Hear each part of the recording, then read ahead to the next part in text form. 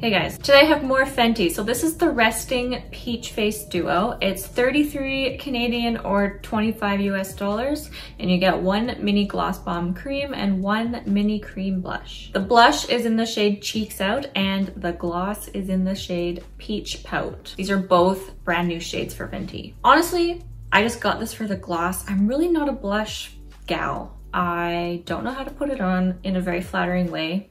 I don't know, my cheeks are just always red enough. I usually just go for bronzer and highlighter, so I'll still talk about it, but just keep in mind, like, I don't know what I'm talking about. The blush shade itself is pretty shimmery.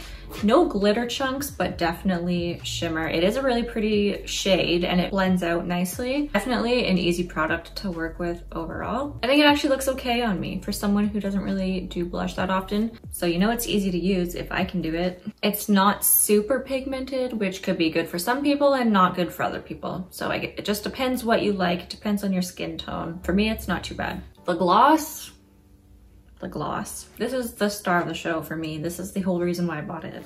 So it's a $33 mini gloss, but overall, I really like the cream formula that Fenty has. However, with this shade, I don't know. I'm wearing it right now and it's pretty sheer. It's a pretty shade, it's just not as opaque as I thought it'd be. It's more of a pink shade with a pop of peach once I have it on my lips. still very nice though. At least with the color of my lips, it just kind of blends in too much. So if I wanna see the peach really come through, I gotta build it up, but then it starts looking a bit too goopy. So I keep it a bit sheer. I just reapplied the gloss to try and get some more peach to show through. I'll show you what I mean by it just builds up really fast. It just starts to look, see that's like what I thought it would be more so. But then once you get that, ew, you can already see it's like bubbling up. Once you get that thick of an application, it's just uncomfortable.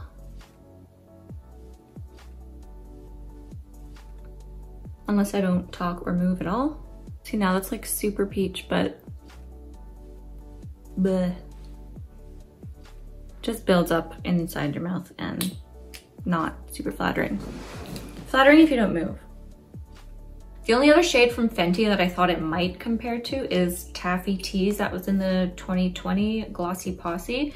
So when you're looking at them just outside in the packaging, they look really similar, but once they're swatched, they are super different.